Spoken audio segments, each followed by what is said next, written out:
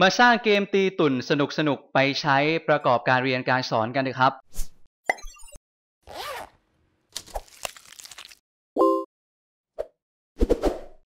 ผิดที่เราเจอกันช้าไป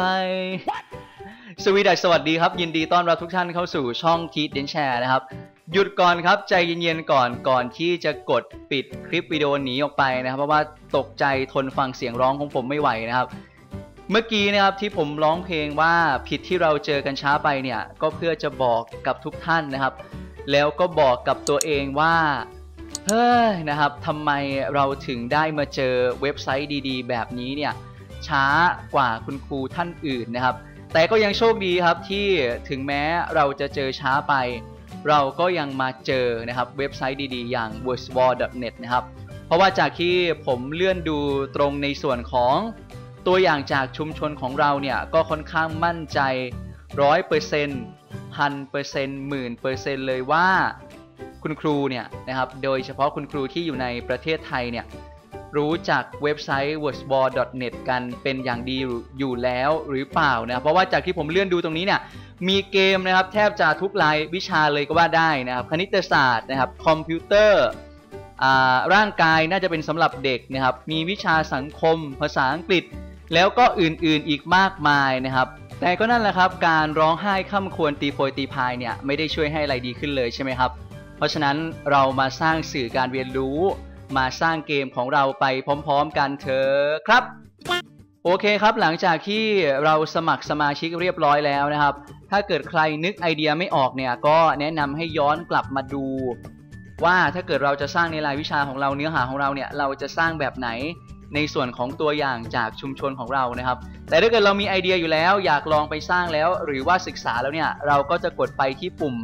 สร้างกิจกรรมนะครับ ด้านบนสุดตรงเมนูตรงนี้นะครับ ซึ่งก็จะมีรูปแบบของสื่อหรือว่าเกมเนี่ยให้เราเลือกใช้ทั้งหมด 18 อัน 18 รูปแบบด้วยกัน แต่ว่าในวันนี้เนี่ยผมจะพาทุกท่านไปลองเกมสนุกๆที่ชื่อว่าตีตัวตุ่นนะครับ ก็คือแถวที่ 2 อันแรกทางด้านซ้ายมือตรงนี้นะครับ กดคลิกหนึ่งครั้งนะครับ เมื่อเราเข้ามาแล้วนะครับ ก็จะมีในส่วนของชื่อกิจกรรมคำแนะนำแล้วก็ให้เราเนี่ยจำแนกว่าอันไหนถูกอันไหนผิดนะครับ เดี๋ยวเราจะไปเริ่มกันเลยนะครับ ผมก็จะขออนุญาตพิมพ์ตรงนี้ว่าฮาร์ดแวร์นะครับฮาร์ดแวร์นะครับ vs นะครับซอฟต์แวร์นะครับง่าย ๆ แบบนี้เลยนะครับซอฟต์แวร์นะครับอ่าเนื้อลักษณะแบบนี้นะครับ หลังจากนั้นนะครับ คำแนะนำหรือว่าคำชี้แจงเนี่ยผมจะพิมพ์คำว่าเฉพาะฮาร์ดแวร์นะครับ ตรงนี้นะครับ นั่นหมายถึงว่าผมก็จะกำหนดฮาร์ดแวร์เนี่ยให้เป็นในส่วนของที่ถูกต้องนะครับ ส่วนซอฟต์แวร์เนี่ยไม่ถูกต้องนะครับ เดี๋ยวเราลองมาเพิ่มกันดูนะครับ ผมก็จะกดไปในส่วนของอัปโหลดรูปภาพ ซึ่งมันสามารถค้นหารูปภาพจากเว็บไซต์ Bing ได้ด้วยนะครับ แล้วก็ถ้าเกิดเราไม่อยากค้นหาเนี่ยเราก็อัปโหลดมาตรงๆแบบนี้ได้เลยนะครับ ผมก็จะอัปโหลดในส่วนของ นะครับ ที่ถูกต้องก็คือในส่วนของฮาร์ดแวร์ตรงนี้นะครับ ไม่แน่ใจว่ามันอัปโหลดพร้อมกันได้ไหมนะครับ อ่าไม่ได้นะครับ ต้องทีละอันเท่านั้นนะครับ เราจะใส่ชื่อหรือไม่ใส่ชื่อของมันก็ได้นะครับ เดี๋ยวผมจะลองใส่สักอันหนึ่งก่อนครับนี่ผมใส่เป็นเว็บแคมนะนะครับ หลังจากนั้นผมก็เพิ่มนะครับ ทีนี้นะครับในส่วนที่ไม่ถูกต้องเนี่ยนะครับ ผมก็จะอัปโหลดภาพของซอฟต์แวร์เข้าไปนะครับ ซึ่งถ้าเกิดแนะนำเนี่ยก็อยากให้ทุกท่านนะครับ เตรียมตรงนี้เอาไว้ก่อนนะครับ เพราะว่า เวลาเราจะสร้างอะไรเนี่ยนะครับ เราจะได้ทำได้รวดเร็วยิ่งขึ้นนะครับ โอเค หลังจากที่เราพิมพ์ชื่อกิจกรรมเรียบร้อยแล้วนะครับ พิมพ์คำแนะนำเรียบร้อยแล้ว พิมพ์นะครับในส่วนของถูกต้องนะครับแอดรูปภาพนะครับในส่วนที่ถูกต้องแล้วก็ไม่ถูกต้องเรียบร้อยแล้วเนี่ย สิ่งที่เราจะทำต่อไปก็คือกดเสร็จสิ้นนะครับแล้วผมจะใส่ใจทำไมนะครับ เพราะว่าแบบฟรีๆเนี่ยมันสร้างได้แค่ 5 อันนะครับ ไม่เป็นไร เดี๋ยวนะครับเราจะซื้อแบบตัวเต็มนะครับ โอเค ผมก็จะกดไปที่ปุ่มเสร็จสิ้นนะครับ กดไปที่ปุ่มเสร็จสิ้นมันก็จะทำการนะครับ สร้างเกมให้เราขึ้นมานะครับ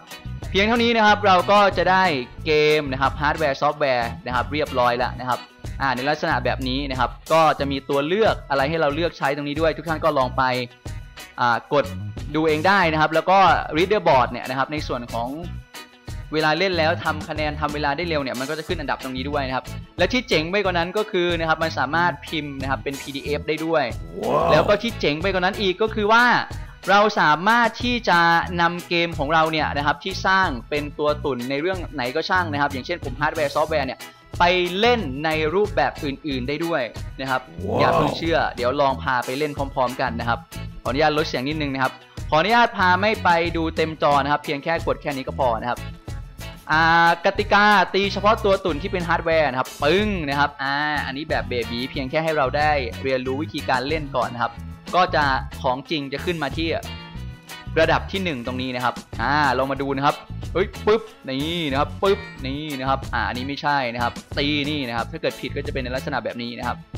แล้วก็จะมีจับเวลาด้วยนะครับ ก็จะสนุกไปอีกเพราะว่ามีเวลาเข้ามาเกี่ยวข้องนะครับอ่าแล้วก็จะเก็บสะสมดาวนะครับ ถ้าเกิดครบ 5 ดาวในแต่ละด่านแล้วเนี่ยนะครับ ในระดับที่ 1 มันก็จะมีคะแนนมาบอก แล้วก็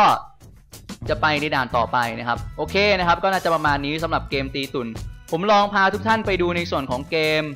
จริงหรือเท็จบ้างนะครับ ลองกดไปดูซิว่า